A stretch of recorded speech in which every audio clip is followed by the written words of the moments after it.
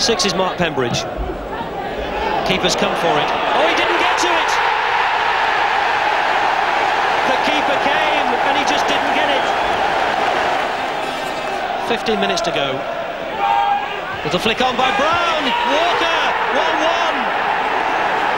Andy Walker's 24th of the season. And what a cup tie we have here. Well, there's no Bolton wall. It's uh, surely too far think about that. Flick on by Gabbiadini. He's there. He's done it again. Two goals for the defender, Craig Short.